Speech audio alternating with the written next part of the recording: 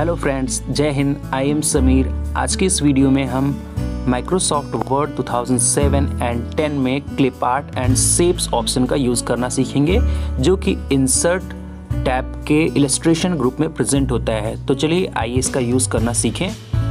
अगर हमारी वीडियो को आप पहली बार देख रहे हैं तो वीडियो को लाइक करें एंड चैनल को सब्सक्राइब करने के लिए रेड बटन पर क्लिक करके बेल आइकन को प्रेस करें एंड ऑल ऑप्शन को सेलेक्ट करें जिससे हमारे वीडियो की आने वाली नोटिफिकेशन सबसे पहले आपको मिल सकें। स्टूडेंट्स जैसा कि हमने पिछली वीडियो में लर्न किया था कि पिक्चर को इंसर्ट करके उसे फॉर्मेट कैसे करते हैं और एडिटिंग कैसे करते हैं, आज की वीडियो में हम इंसर्ट ऑप्शन के इलस्ट्रेशंस ग्रुप में क्लिप आर्ट ऑप्शन का यूज़ करना सीखेंगे। इंसर्ट ऑप्शन के इलस्ट्रेशन ग्रुप में क्लिप आर्ट पर जैसे ही क्लिक करते हैं तो राइट साइड में टास्क पैन में क्लिप आर्ट का एक डायलॉग बॉक्स आ जाता है, जिसमें सर्च फॉर कंप्यूटर मैंने सर्च किया और गो पर क्लिक किया है। और search in my collection office collection and web collections में से आपका डेटा सर्च होकर आएगा एंड ऑल मीडिया टाइप आपके सर्च हो जाएँगे। ईज़िली आपने देखा कि बहुत सारे ऐसे क्लिप आर्ट्स ऑलरेडी इंसर्ट होकर आ रहे हैं।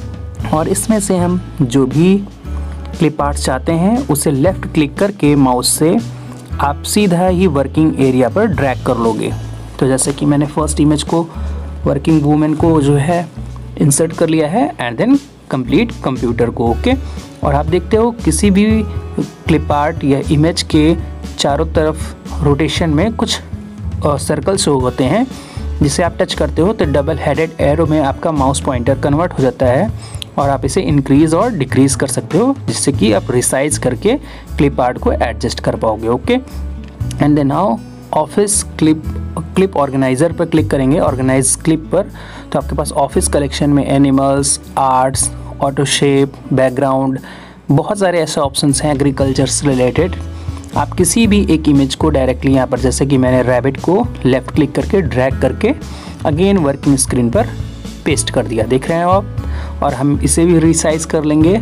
रिसाइज करने के बाद हम पिक्चर की क्वालिटी में चेंजेस कर सकते हैं और हम ये ध्यान में रखेंगे कि किस तरीके से हमें ये प्रोसेस को कंप्लीट करना है। तो पिक्चर को सबसे पहले हम सेलेक्ट करते हैं और सेलेक्ट करने के बाद जैसा कि आप ऑप्शन पर देख पा रहे हो, यहाँ पर फॉर्मेट टैब शो हो रहा है। और अगर आप पिक्चर को नहीं सेलेक्ट करोगे तो ये ऑप्शन नहीं शो होगा ओके तो पिक्चर को सेलेक्ट करके राइट क्लिक किया कॉन्टेक्स्ट मेनू से आपके पास cut copy paste edit picture format picture बहुत सारे ऑप्शन हैं। तो एडिट पिक्चर को मैंने क्लिक कर लिया। अब यहाँ पर एडिट पिक्चर पर क्लिक करने पर हम पिक्चर को क्रॉप कर सकते हैं। कलर एंड पॉइंट्स को देख रहे हो आप। ड्रैग करके किसी अदर पोजीशन पे पेस्ट कर सकते हैं। कंट्रोल जेड किया, वापस पहले जैसा हो गया। मैं अगेन कलर पर सिलेक्ट करता हूँ राइट क्लिक करता हूँ। कॉन्टेक्स्ट मेनू से फॉर्मेट ऑप्शन को सिलेक्ट करता हूँ। And then again colour and combination से पैलेट से कलर को सेलेक्ट कर लेते हैं okay and again control Z कर लिया मैंने। फिर से राइट क्लिक किया फॉर्मेट ऑटो शेप पर क्लिक किया और यहाँ पर हमारे पास देख रहे हो फिल इफेक्ट्स में कलर भी है। लाइन में हमारे पास येलो मैंने सेलेक्ट कर लिया कलर पैलेट से और अगेन मैं यहाँ पर फिल कलर में जाता हूँ कलर को सेलेक्ट करता हूँ ओके तो आप कलर को यहाँ पर चेंज भी कर सकते हो। रेड कलर मैंने आउटलाइन में ले लिया और आप देख पा रहे हो जो आपके रैबिट का कलर है, वो चेंज हो चुका है। ऑब्जेक्ट का भी कलर चेंज कर लेते हैं, जो ईट कर रहा है, उसको मैंने ग्रीन कर लिया है ओके एंड ओके कर दिया। आप देखते हो ऑब्जेक्ट का कलर चेंज हुआ है, जो वो ईटिंग कर रहा है, खा रहा है, खरगोश okay and then right click किया अगेन इमेज पर।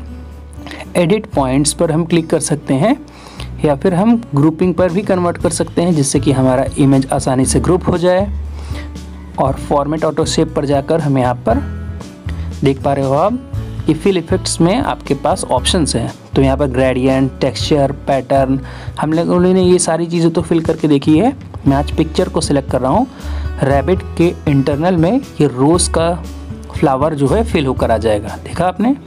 इस तरह से आप अपनी इमेज को किसी भी शेप में इंसर्ट कर सकते हो।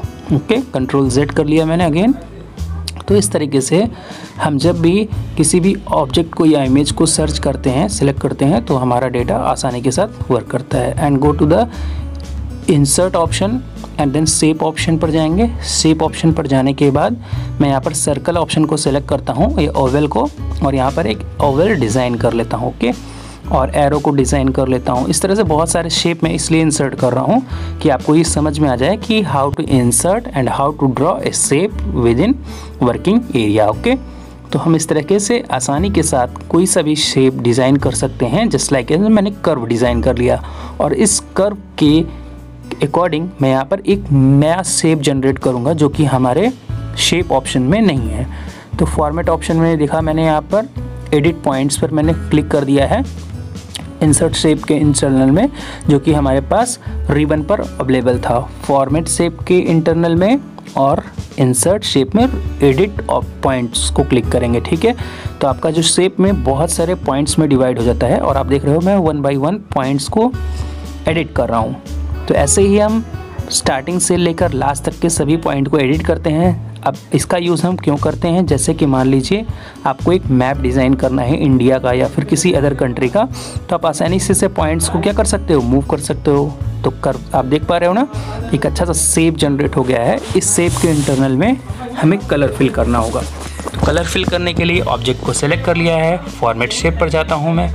फॉर्मेट ऑटो शेप पर जाने के बाद मैं यहाँ पर पिक्चर के अंदर कलर को फिल करूँगा ओके तो यहाँ पर देख पा रहे हो ना, आप सेप स्टाइल्स में डिफरेंट टाइप के कलर्स आउटलाइन ये कॉम्बिनेशन सेप हैं। फिल इफेक्ट्स में आप जाकर यहाँ पर ग्रेडियंट कलर को सिलेक्ट कर सकते हो। ग्रेडियंट का means combination of two colours and fill colour में आपने डायरेक्टली पैलेट से येलो कलर सेलेक्ट कर लिया है। बट मैंने यहाँ पर अगेन ग्रेडियंट कलर में टू कलर कॉम्बिनेशन को सिलेक्ट किया तो ये वाइट एंड येलो का कॉम्बिनेशन है। तो मोर ग्रेडियंट इफ़ेक्ट पे क्लिक किया। और यहाँ पर ऑप्शन पे जाकर मैंने कलर कॉम्बिनेशन को सिलेक्ट किया है। यहाँ पर हॉरिजेंटल या वर्टिकल या फिर कोई सा भी एक ग्रेडियंट स्टाइल या सेडिंग स्टाइल को सिलेक्ट कर लेंगे। टू कलर को सिलेक्ट किया फ़र्स्ट को येलो किया सेकंड को ग्रीन कर लिया और देख रहे हो आपके पास टू कलर की कॉम्बिनेशन है। किसी को भी अगेन मैं यहाँ से सेलेक्ट कर लूँगा। यहाँ पर फॉर्म सेंटर सेलेक्ट किया है और सेकेंड वाला ऑप्शन सेलेक्ट कर लेता हूँ। ओके मैं एंड देन ऑप्शन आप देख पा रहे हो, ये स्टाइल है आपके पास। तो टू कलर की कॉम्बिनेशन जो कि बहुत ही अट्रैक्टिव फॉर्मेट में है। मैंने अगेन आउटलाइन को रेड कलर का कर लिया है। तो रेड कलर का करने के बाद हम यहाँ पर फिल इफेक्ट्स में अगेन जाते हैं फिल शेप में, ठीक है? तो फिल शेप में जाने के बाद मैं आप देख रहे हो, मैंने स्टार्टिंग में एक कर्व से स्टार्ट किया था और यहाँ पर काफ़ी ज़्यादा अट्रैक्टिव हो चुका है ये, ठीक है? और अगेन मैंने शेप को सिलेक्ट किया है स्टार को और इसे कन्वर्ट कर दिया है चेंज शेप ठीक है ऑप्शन में। मैंने वन बाई वन सभी ऑप्शन का यूज़ कर रहा हूँ, इसलिए मैं दिखा रहा हूँ, ठीक है? तो शेप को सबसे पहले सेलेक्ट कर लेते हैं। सैडो इफ़ेक्ट में आपके पास नंबर ऑफ़ इफेक्ट्स हैं। Draw shadow properties pictures okay तो मैंने यहाँ पर सबसे पहले सैडो ड्रॉ कर लिया है। एंड सैडो कलर को भी हम चेंज कर सकते हैं। सैडो कलर को मैंने यहाँ पर रेड ग्रीन येलो भी कर सकते हैं। ये देखिए, मैंने येलो कर लिया। अगेन मैं चेक चेंज करता हूँ, फिर से आपको शो करता हूँ। क्लिक किया। फॉर्मेट ऑप्शन पर shadow effect and shadow colour and then red option okay फिर से आप सैडो को डिस्टेंस पर रख सकते हो ऑब्जेक्ट से, जिससे कि इसका थ्री इफ़ेक्ट थोड़ा अच्छा आएगा। तो आप यहाँ पर देख रहे हो सैडो इफ़ेक्ट में ही यहाँ पर बहुत सारे डायगनल्स एरो हैं लेफ़्ट राइट टॉप डाउन जिस भी डायरेक्शन में आपको सैडो को डिस्टेंस देना है, आप उस डायरेक्शन में इसे क्लिक करोगे तो यहाँ पर ये क्या होगा? आपके ऑब्जेक्ट से सैडो की डिस्टेंस थोड़ी ज़्यादा हो जाएगी, ठीक है? एंड थ्री इफ़ेक्ट में आपके पास है पैरेलल है प्रेस्परेटिव है रोटेट एंड प्रिस्क्रिएटिव है, ठीक है? तो ऑप्शन को आप सेलेक्ट कर लेते हो। आपको जो भी थ्री कलर जो भी आपके पास थ्री ऑब्जेक्ट्स को थ्रू यहाँ पर देखिए थ्री कलर को भी चेंज कर सकते हैं। ग्रीन कर लिया तो देखिए थ्री का जो कलर है, वो ग्रीन कलर का हो गया और फ्रंट का कलर को ऑटो शेप पर जाकर हम फिल ऑफ़ इफ़ेक्ट का ऑप्शन जैसे यूज़ करते हैं ना ऑब्जेक्ट को सेलेक्ट करेंगे तो यहाँ पर आपके पास डायरेक्शन होगा।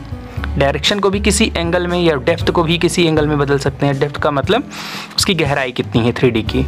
तो आप 72 पॉइंट्स पर रख लेते हो, या फिर आप 144 पॉइंट पर रख लेते हो, या फिर आपके पास 36 पॉइंट पर रख सकते हो, जो भी आपको एडजस्ट हो, उसी पॉइंट पर आप सेट कर लेंगे।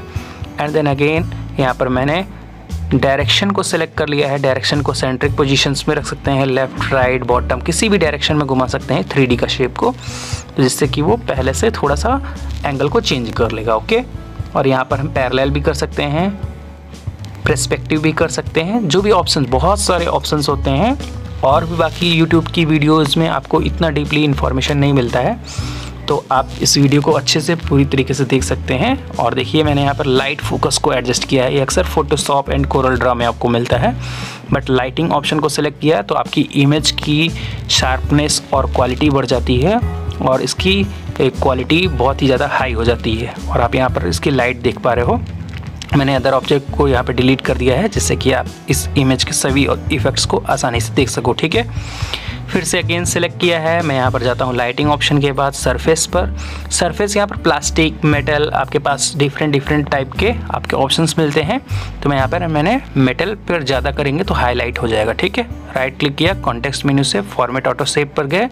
एंड फिल इफेक्ट्स पर जाने के बाद हम यहाँ पर जो आपका फ्रंट लेयर है ग्रेडियंट टेक्सचर या पिक्चर जो भी ऑप्शन आप चाहो, वो सेलेक्ट कर सकते हो। आप देखो, पीछे बैकग्राउंड में मेरे पास सेव है। अगेन राइट क्लिक किया। फॉर्मेट ऑटो शेप पर क्लिक करेंगे।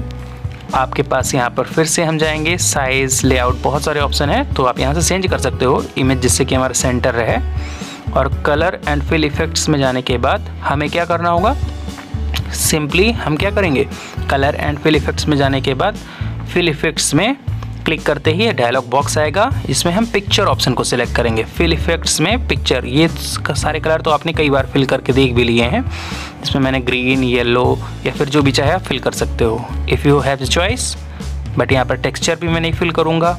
मैं आपके सामने यहाँ पर एक शेप फिल करने वाला हूँ, जिससे कि इसका जो क्यूब का शेप आए काफ़ी अच्छा है। जैसे कि आप देखते हो पेपर वेट होता है सेम उसी तरह से थ्री आर्किटेक्चर में हम इसे डिज़ाइन कर सकते हैं ओके तो यहाँ पर चलिए, मैंने यहाँ पर देखिए, एक टेक्सचर वाटर डिफाइन कर लिया है।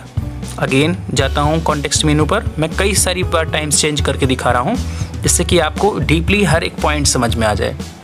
एंड पिक्चर्स को गया, मैंने यहाँ पर फ्लावर को ले लिया। नहीं फ्लावर को नहीं लेता हूँ। मैं यहाँ पर एक सीनरी ले लेता हूँ। Yes okay of course this is a very attractive and okay किया आप देखोगे बहुत ही अट्रैक्टिव फीचर्स आ रहा है। यहाँ पर आप अपनी फ़ोटो भी लगा सकते हो, जिससे कि आप कोई लोगो डिज़ाइन करो, कोई ग्रीटिंग कार्ड डिज़ाइन कर रहे हो तो आप सेप में ऐसे ही पिक्चर्स को लगा सकते हैं ओके तो आपका काफ़ी सारा अट्रैक्टिव इमेजेस बन रहे हैं। और यहाँ पर इस तरह से हम सेप एंड क्लिप आर्ट के साथ में वर्क कर सकते हैं। ऐसे ही हम किसी भी वीडियोस एंड ऑब्जेक्ट के साथ में वर्क करेंगे तो अगली वीडियो में हम जिससे की बात करेंगे इंसर्ट ऑप्शन के और भी पार्ट्स को, जिसमें स्मार्ट आर्ट और भी कई इफ़ेक्टिव टूल्स के बारे में बात करेंगे। तो हमारी अगली वीडियो को देखते रहिएगा और जो पिछली वीडियो को आपने नहीं देखा है, जिसमें आपने पिक्चर्स को इंसर्ट करना टेबल्स और बहुत सारी चीज़ों को इंसर्ट करना नहीं देखा है तो आप वहाँ पर जाकर इन सभी ऑब्जेक्ट्स को इंसर्ट करके चेक कर लोगे ओके और वीडियो में आप यहाँ पर देख पा रहे हो कि यहाँ पर जब भी मैं फॉर्मेट ऑप्शन पर जाता हूँ तो इसमें बहुत सारे ऑप्शंस मिलते हैं। इस सभी ऑप्शन का मैंने एक्सप्लेनेशन पिछली वीडियो में दे रखा है ओके तो आप जैसे टॉप में जो हमारे टिकट शो कर रहे हैं, इस पर भी आप क्लिक कर सकते हो। अदरवाइज़ वीडियो के डिस्क्रिप्शन में सभी पार्ट्स के लिंक मैंने ऑलरेडी डिस्प्ले कर दिए हैं। Thanks for watching this video दोस्तों वीडियो से रिलेटेड कमेंट एंड सजेशन के लिए कमेंट बॉक्स का यूज़ करें और हमारे चैनल की अगली वीडियो को देखने के लिए हमारे चैनल को सब्सक्राइब करना बिल्कुल ना भूलें। जय हिंद।